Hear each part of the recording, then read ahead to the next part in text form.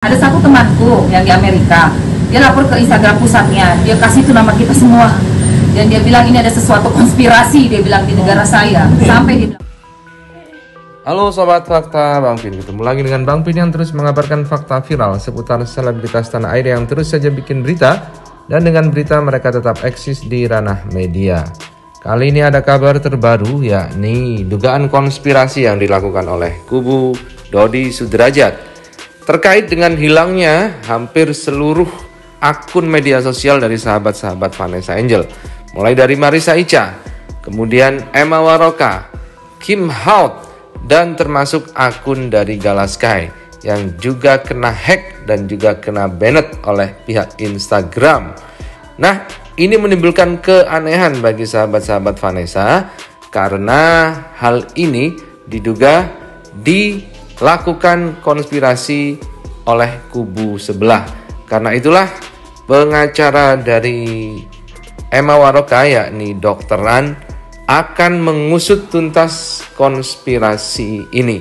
Nah, bagaimanakah Dr. Ran akan mengusut dan membongkar konspirasi penghilangan akun-akun media sosial dari sahabat-sahabat Vanessa ini? Yuk kita simak saja kupas tipis-tipis dari fakta Bang Pin kali ini. Like, subscribe, and komennya ditunggu.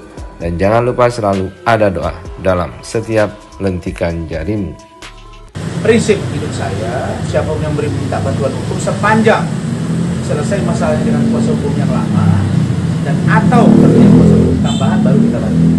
Itu kode etik. Saudara-saudara kami appreciate kepada kepolisian Polda Metro Jaya setelah beberapa waktu yang lalu saudara Emma Waroka dan Marisa Ica membuat laporan polisi terkait dengan ya, tindakan yang dilakukan oleh saudara Tiara Marley. Bagaimana prosesnya? Sudah seperti apa follow up dari kepolisian? Nanti dijelaskan oleh ibu atau adik saya atau mbak Emma. Dan seperti apa respon-respon yang akan disampaikan juga oleh saudara Marisa Eca sama-sama kita dengar. Karena saya sebagai kuasa hukum akan menghimpun kedua keterangan ini untuk nanti goalnya seperti apa. Tapi yang pasti bahwa tindakan saudara Tiara Marlin yang katanya ya informasi yang saya terima kemarin iya. menggugat balik, melaporkan balik apa yang dilakukan oleh saudara Emma Waroka dengan saksi saudara Marisa Ica itu sah-sah saja dan kita fine-fine saja. Nggak sampai terganggu tidurnya. Iya. Nggak ada masalah di situ ya. Ya, Nggak masih masalah. fine-fine saja. Tapi yang menjadi tanda tanya, ah, ini dia. Karena saya teman dengan cybercrime, baik Mabes, baik Polda, dan mereka canggih. Ini TikToknya juga barusan di depan saya itu hilang. TikTok Instagram juga hilang. Band permanen. Bahkan ada band permanen. Begitu juga dengan Marisa Ica. 8 ribu itu hilang semua. Baru dia buka lagi tadi malam, baru nyampe ini sudah 200 ribu. Saya pun pernah kena. Nah, saya 225 ribu. Ini semua tindak kejahatan yang patut diduga dilakukan oleh sekelompok orang. Nah, ini kita usut ini. Nah, jadi saya memang sengaja diam dan ya. Saya akan telepon nanti Pak Suprimnya. Ada apa? Ada apa dengan ya dengan nih? Ada apa dengan kok sekarang ini secara tiba-tiba orang-orang yang dalam tanda kutip termasuk tadi Kim apa? Kim Hot juga Kim Hot. tadi lapor ke Mami Iya, hilang. hilang. Instagramnya. Jadi ini ada apa? TikToknya juga. Jadi dalam gambaran kami, frame yang terbentuk selama ini antara Doni dengan orang-orang tertentu, gitu ya. Betul bang. Nah, karena itu kok semua mereka ini tiba-tiba pada dihack semua ini barang ini. Bahkan ada yang permanen bandnya, ini kan luar biasa. Nah,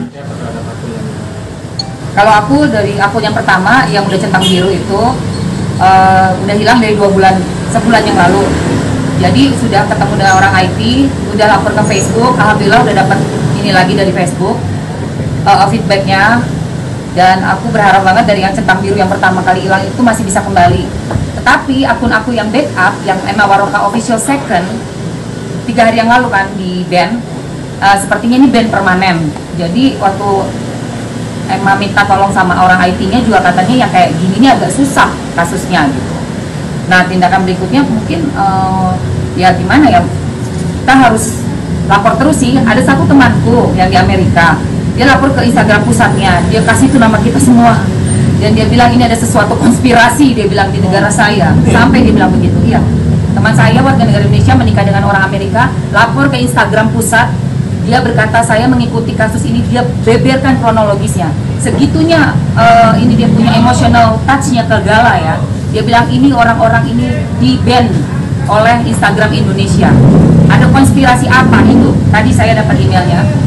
Jadi itu usaha-usaha yang kita coba lakukan gitu.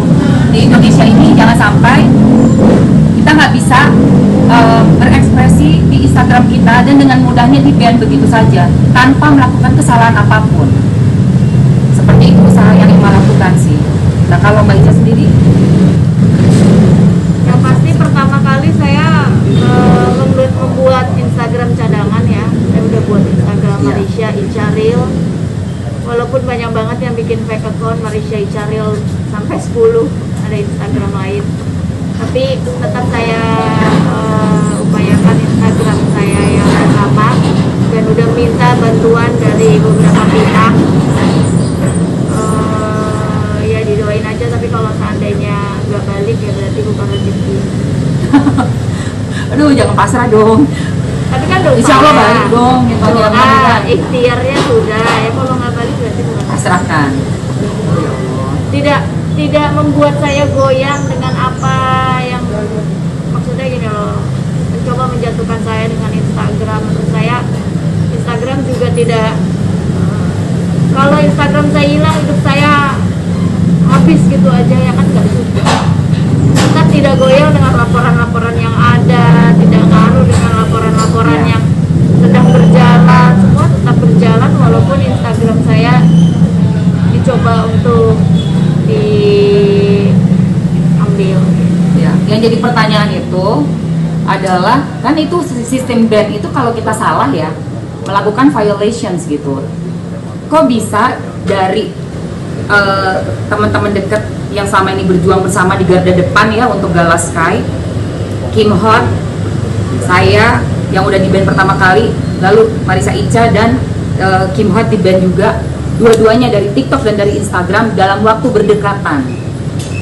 Jadi kalau dibilang suatu kebetulan, Mamski rasa ini bukan suatu kebetulan, tetapi ada sistem apa yang bisa sampai memban permanen masuk ke dalam sosial media yang ini kan sosial media global ya punya dunia gitu, bukan ecek-ecek gitu loh, bukan cuma sekedar aplikasi kecil. Ini aplikasi yang besar sekali, kok bisa masuk ke situ? Itu yang jadi pertanyaan buat buat Mamski. Kelihatannya nanti saya coba arahkan mereka ini hari Senin ya untuk datang ke Polda bersama-sama agar akun-akun yang sudah dihack atau di ban ini untuk dibuat laporan khusus agar ini dicari tahu pelakunya sekaligus dikembalikan. Saya alhamdulillah kemarin dikembalikan. Nah, jadi utuh centang birunya utuh kembali.